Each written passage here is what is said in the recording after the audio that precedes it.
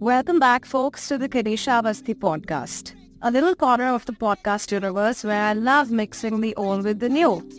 Well, think of it like bringing together your favorite wine and the latest tech gadget. So without further ado, let's get started. By the way, if you love my podcast, don't forget to subscribe and share.